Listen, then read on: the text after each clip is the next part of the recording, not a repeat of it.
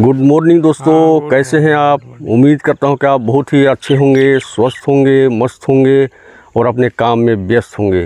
दोस्तों आज मैं अपने गुरुदेव के साथ में हथगढ़ा गाँव में हैं जो एक इतिहास का एक पन्ना यहाँ पर पड़ा हुआ है और उसे हम लोग आज हमारे सम्मानीय गुरुदेव के साथ में हम लोग उसका खोज करने आए हैं और इस इतिहास के पन्ने को हम पलट के हम आपको बहुत बड़ा रहस्य आज बताने वाले हैं दोस्तों। तो वीडियो आज का बहुत ही इंटरेस्टिंग होने वाला है। वीडियो छोड़ के बिल्कुल मत जाइएगा। इसकी बिल्कुल मत कीजिए। तो बने रहिए हमारे साथ वीडियो में। दोस्तों, हम पहुँच चुके हैं उस जगह में जो सबसे पहले हम इतिहास का पन्ना जो खोलने जा रहे हैं, वो है तालाब। बताया जाता है कि यहाँ 700 तालाब था और यहाँ कभी पुर्तगाली निवास करते थे। लेकिन इस खोज के पहले हमें यही पता चला था कि यहाँ कोई असुर राजा यहाँ रहा करता था। लेकिन हमारे गुरुदेव बतला रहे हैं कि यहाँ पर असुर राजा नहीं रहते थे यहाँ पर पुर्तगाली रहते थे। तो आइए देखते हैं यहाँ पर पुर्तगालियों का सबसे पहला जो ओ, उनका मैं इतिहास दिखा रहा हूँ इतिहास के पन्ने को मैं खोलता हूँ। तो आइए हमारे सर के साथ उसके विषय में हम लोग बातचीत करते हैं। तो दोस्तों आप देख सकते हैं सामने ये तालाब दिख रहा है ये पहला तालाब है। इसी तरह का 700 तालाब की की बात हम लोगों ने सुना है और हमारे आदरणीय सर से हम जानते हैं कि वास्तव में यहाँ कुल कितना तालाब था और कौन लोग यहाँ पर आकर के रहते थे। मैं जे आर यादव और रिटायर्ड शिक्षक हूँ और ये निकट ग्राम टांगर गाँव में रहता हूँ। ये जो हथगढ़ा है टांगर गाँव लगे लगाए है, मैंने सीमा तो बिल्कुल लगे हुआ है। अब यहाँ अपना पुरखा कई पीढ़ी से रहते आ रहे हैं, जिसके कारण से हथगढ़ा और हमारे टांगर गाँव के निवासी एक दूसरे से अच्छी तरह मिले जुले हैं और एक दूसरे के इतिहास को जानते हैं। यहाँ जो है ना, बहुत पहले पुर्तगाली राजा लोग रहते थे और ये जो चरधुआ तालाब है चाउर धुआ जिसको बोलते हैं, इसमें चावर धोते थे उस समय के लोग जो है ना, इसलिए इसको चरधुआ तालाब जो है ना, बोला जाता है। इसी के किनारे महल वगैरह था और ईंटा अभी भी उपलब्ध है। इसी ईंटा से यहाँ एक शिव मंदिर भी बना हुआ है, पखना तालाब कहते हैं उसी किनारे। और बड़ा लंबा लंबा है, बड़ा मज़बूत होता है। और यहीं किनारे पर वो सोना भी मैंने विगत वर्ष जो है ना दो चार साल पहले जो है मिला था, जो कि एक इतिहास का जो है बहुत बड़ा सबूत है। उस समय के राजा लोग संभवतः सोना चांदी में बहुत प्यार करते थे और वो रखते भी थे। और ये जो चरधुआ तालाब का जो है ये पश्चिम साइड में निश्चित रूप से उनका इमारत रहता था, क्योंकि वो दबा हुआ जो ईंटा है उसका सबूत है। और वहाँ पर यहाँ तक कि तलवार वगैरह भी मिले थे उसका खुदाई करने पर, मगर इसको खुदाई करने से शासन के द्वारा मना कर दिया गया। इसलिए अभी भी पेंडिंग है। उसी के उत, मैंने दक्षिण साइड कोना में जो है ना, वो सोना भी मिला था, जो पूरे छत्तीसगढ़ क्या पूरा ऑल इंडिया में इसको इसकी जानकारी हुई थी। तो इसके बगल में एक तालाब है, कोट तालाब जिसको बोलते हैं। ये दोनों तालाब का पानी कभी नहीं सूखता है। कितनी गहराई है, इसको हमारे स्थानीय लोग भी नहीं जान पाते हैं। और इसी के पानी से जो है, हमारे हथगढ़ा वाले किसान लोग जो है ना, वो खेती भी करते हैं। जैसे कि अभी आप देख देख रहे हैं, ये धान का फ़सल लगा हुआ है और किनारे किनारे और बाड़ी वाड़ी प्याज वाज भी लगाते हैं और किसान बड़ा खुशहाल रहते हैं इस तालाब से। यदि इस तालाब को अगर शासन की ओर से इसका मरम्मत कर दिया जाए तो यहाँ के निवासियों के लिए जो है ना, एक सुखद माने भविष्य की कल्पना की जा सकती है। और ये जो तालाब है जरधुआ तालाब और कोट तालाब, इसका रकबा करीब जो है ना बीस एकड़ का प्लाट हो सकता है दोनों तालाब मिला के, और यहाँ का पानी कभी नहीं सूखता है। वो बारहों महीने इसमें पानी रहता है, जहाँ से सिंचाई जो है कर कर के किसान लोग जो है, जैसे कि अभी आप लोग देख रहे हैं, यहाँ कई ठो पंप लगे हुए हैं, जिससे जो है ना खेती की जाती है। तो ये सब जानकारी जो है, बहुत पहले से जो है हम लोग जानते आ रहे हैं, और इसको शासन को जो है ना अवगत कराया भी जा चुका है। पहले पुरातत्व विभाग के अधिकारी भी आए थे। उनके साथ मैं भी आया था और ये सब चीज़ों को उनको बताया भी और कुछ मूर्तियाँ भी मिली थी, उसको ले भी गए। तो इस तरह से ये क्षेत्र में यहाँ तक कि हीरा भी मिलता है। और हीरा का भी खदान बताया जाता है और इस दौरान जो है ना, यहाँ लोग बाहर से भी आते हैं हीरा के खोज में। तो ये जानकारी वास्तव में यहाँ पर एक बहुत ही क्या कहना चाहिए, खजाना यहाँ मिल सकता है, ये अपनी जानकारी में है। तो दोस्तों, इतिहास की इस पन्ने में हमने आपको ये तालाब को दिखाया। अब इतिहास के हम दूसरे पन्ने को खोलने जा रहे हैं। तो वीडियो में आप लगातार बने रहिए दोस्तों। वीडियो बहुत ही इंटरेस्टिंग होने वाला है। अब देखिए, इसी तालाब के चलते इधर आप देखेंगे पूरा हरा भरा है। खेती लोग की हैं, धान लगाए हैं लोग। बहुत ही सुंदर, खूबसूरत कुछ साग सब्ज़ियाँ भी यहाँ पर लगाए हुए हैं। इस तालाब से काफ़ी यहाँ के लोगों को लाभ मिल रहा है दोस्तों। दोस्तों, अब इतिहास के दूसरे पन्ने को हम खोलते हैं और जिस जगह हम खड़े हैं, यहाँ काफ़ी बड़ा महल कभी हुआ करता था और उस महल के कुछ अवशेष यहाँ पर बचे हैं, जिसे हम दिखाने जा रहे हैं और जिसके विषय में हमारे गुरुदेव आपको कुछ जानकारी भी देने जा रहे हैं।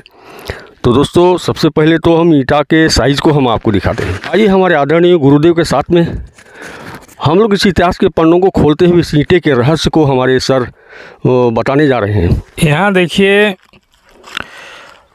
बहुत पुराने ज़माने की बात है। साढ़े चार सौ साल पिछला यहाँ पर जो है ना, कुछ राजा लोग जो है यहाँ निवास करते थे। उनके द्वारा जो बनाया जाता था मकान वगैरह उसका ईंटा जो है यहाँ पर टुकड़े के रूप में पड़ा हुआ है जो उपलब्ध है जिसको जो है अभी हम आ, आपको दिखा रहे हैं। इसी तरह का जो है यहाँ बगल में पखना तालाब कहते हैं उसी के किनारे जो है ना शिव मंदिर का निर्माण भी इसी ईंटा से बनवाया गया है। और ये क्षेत्र के लोग जिसको बहुत पहले से अपने अपने ले जा रहे थे ईटा को, मगर बाद में शासन ने इसको बंद कर दिए। और अभी भी यहाँ बहुत कुछ रहस्य छिपा हुआ है। ये जानकारी जो है ना, मिलती है। अरे, बगल में जो है ना, सोना भी मिला था, जो जग ज़ाहिर है। एक, क्या कहते हैं, तांबे का पेटी में रखा हुआ सोना मिला था। जिसका काफ़ी मैंने प्रचार प्रसार हो के वजह से सभी लोग इसको जान चुके हैं। कि ये क्षेत्र में सोना भी उपलब्ध रहता था। किससे पता चला कि हाँ हाँ उस सिक्के से पता चला कि उस समय के जो राजा लोग थे वो पुर्तगाली लोग ही यहाँ रहा करते थे। और आज जो है ना वो खंडहर के रूप में वो उनका जो इमारत बना था वो हम यहाँ पर जो खड़े हैं यहाँ भी एक मकान या महल बना हुआ होगा, जिसका कि यहाँ टुकड़े के रूप में ईंटा पड़ा हुआ है, जिसका छाया चित्र आपको दिखाया जा रहा है। दोस्तों, अब हम पहुँच चुके हैं इतिहास के तीसरे पन्ने को खोलने के लिए। और इस तीसरे पन्ने को खोलने के लिए हमारे साथ हैं हमारे गुरुदेव, और आपको बताएँगे यहाँ के दो तालाबों के बारे में। यहाँ खंडहर नुमा स्नानगर, ऐसा लगता है कि यहाँ नहाने का घर था। इस रहस्यों को हमारे सर आज खोल रहे हैं। तो आइए हमारे सर से हम बातचीत करते हैं। तो सर ज़रा इस तालाब के रहस्य के बारे में दर्शकों को आप जानकारी दीजिए। हाँ।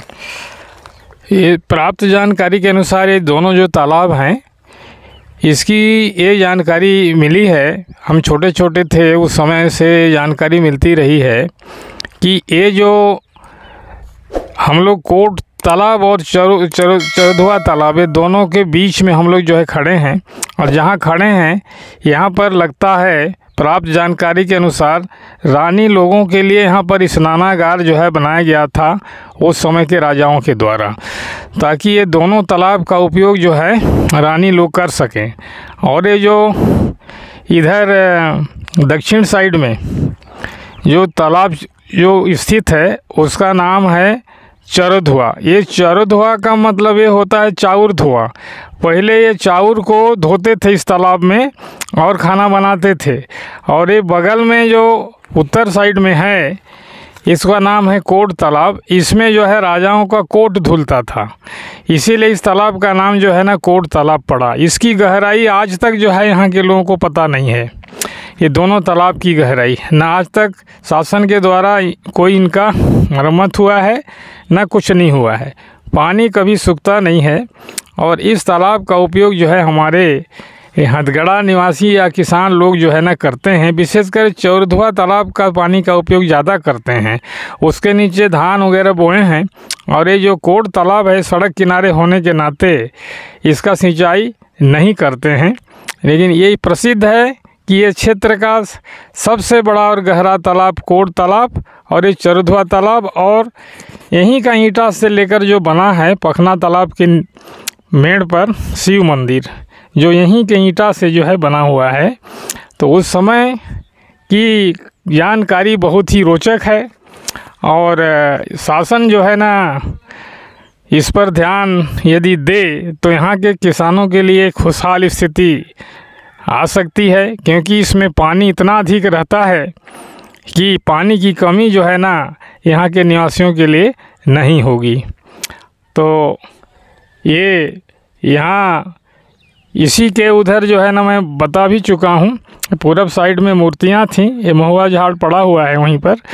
अब पुरातत्ववेताओं ने विगत वर्ष आए थे, मैं भी उनके साथ आया था। और मैं उनको दिखाया, अभी तो मूर्तियाँ नहीं हैं, जो भी आए एक एक ठो लेते गए। तो यहाँ एक ऐतिहासिक रहस्य छिपा हुआ है। यदि अगर इसका दोहन करना चाहें या खोज करना चाहे शासन तो बहुत कुछ यहाँ पर मिल सकता है। यहाँ तक कि इस खंडहर में, उस समय के राजा लोग जो उपयोग करते थे, तलवार वगैरह वो भी इस क्षेत्र के लोगों को मिला है और अभी भी उपलब्ध है। तो यही है कि इस तालाब या इस क्षेत्र का विकास के लिए शासन इस पर ध्यान दे, ये अपना निवेदन है। दोस्तों, एक और सबूत मैं आपको दिखाता हूँ यहाँ पर। आप देख सकते हैं ईंटा है। इस ईंटा से यहाँ पर दीवार बनाया गया है, जिसमें लगभग इस ईंटा का उपयोग किया गया है, क्योंकि बाकी ईंटा बंद है। ये दिखाई दे रहा है दोस्तों, स्पष्ट रूप से ये ईंटा काफ़ी बड़ा बड़ा साइज़ का है। मैं आपको बताना चाहूँगा दोस्तों, ये जो पुर्तगाली थे, ये यहूदी जाति के थे और यहूदी जाति चरवाहा हुआ करते थे और अपने जहाँ कहीं भी लोग बसते थे तो सबसे पहले उन लोग वहाँ पानी का व्यवस्था करते थे।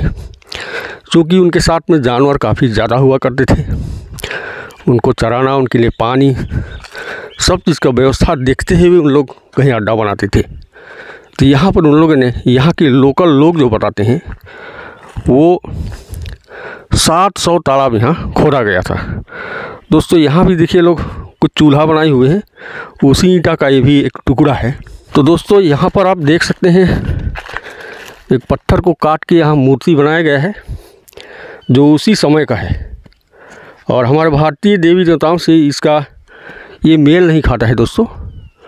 इसमें जो देवी देवता कुछ भी चित्र बनाए हैं, वो मेल नहीं खाता। इसे पुरातत्व विभाग ही बता सकता है कि कितने वर्षों पहले इसे बनाया गया है। तो दोस्तों तो आज हम तीन इतिहास के पन्नों को हम आपको खोल के दिखाए। दोस्तों, चौथे पन्ना हम आपको अगले वीडियो में दिखाएँगे। तब तक आप स्वस्थ रहिए, मस्त रहिए, अपने काम में व्यस्त रहिए। जय हिंद। जय भारत।